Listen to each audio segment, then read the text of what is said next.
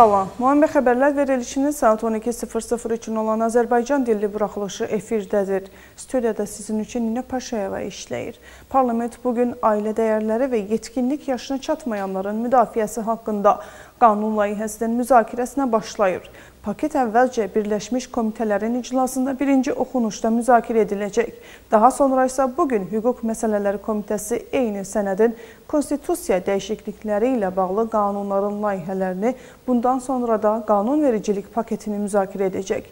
19 qanunda dəyişikliklə tənzimlənməsi planlaşdırılan qanun ümumilikdə 8 məsələni əhatə edir.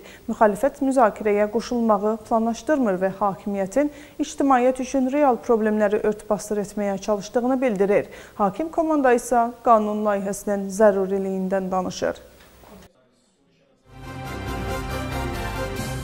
Hüquq Məsələləri Komitəsinin iclasında Ali Məhkəmənin hakimi vəzifəsinə namizədlərin dinlənilməsi davam edir.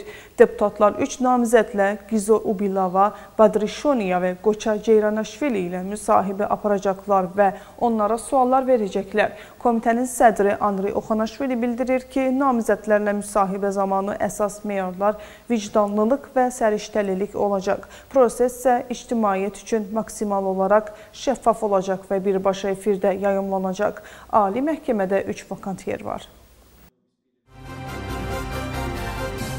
Amerika Birləşmiş Ştatlarının səfirinin viza məhdudiyyətləri ilə bağlı bəyanatı yenə də müzakirə mövzusudur. Səfir sanksiyalarla bağlı dünən danışıb və izah edib ki, Dövlət Departamentinin qərarı Gürcüstan hakimiyyətinin hərəkətlərini dəyişdirmək üçün zəruri vasitədir. Müxalifət də bu bəyanatı məntiqli adlandırırlar. Onların dediyinə görə bu Avropaya inteqrasiya yoluna əngəl törətməyin qarşılığında müəyyən dərəcədə Gürcüstan hakimiyyətinə xəbərdarlıqdır.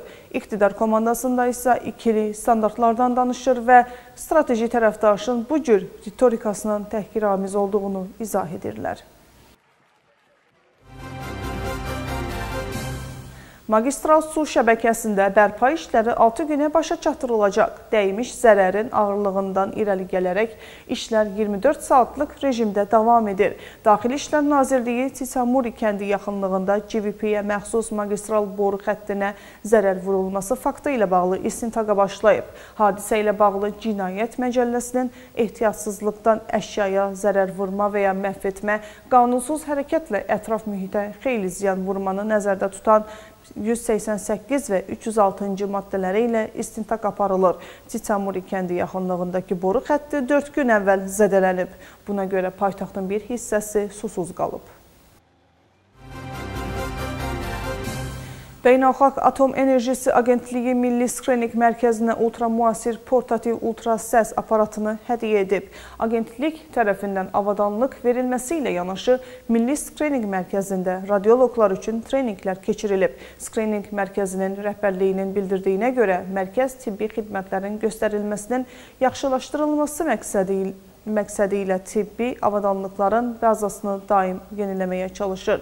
Bu cihaz xərçəngin skrining proqramında əhalinin iştirak göstəricisini artırmaq üçün vacibdir və skrining mərkəzində olan bütün mobil bölmələr bu məqsədlə çalışır. Bu sizi 12.00 üçün çatdıracağım son xəbəri idi. Sizinlə 15.00-a kimi sağollaşıram. Sağ olun, salamat qalın.